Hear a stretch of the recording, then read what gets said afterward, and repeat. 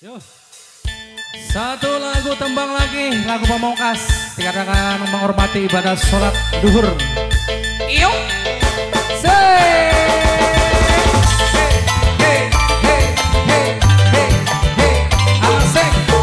Masih bareng video shooting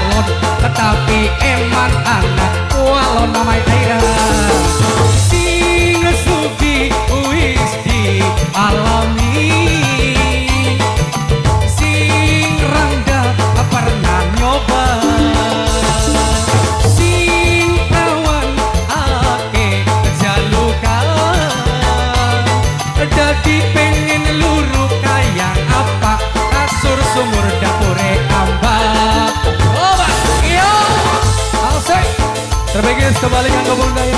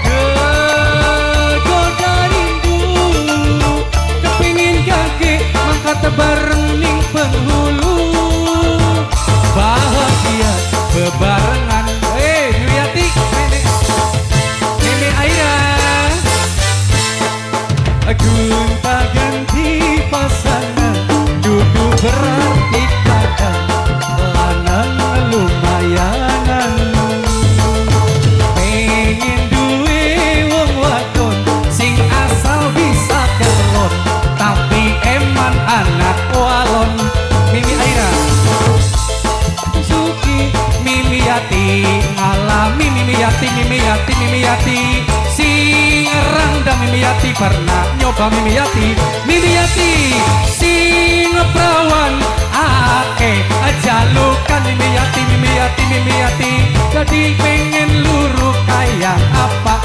Kasur sumur dapure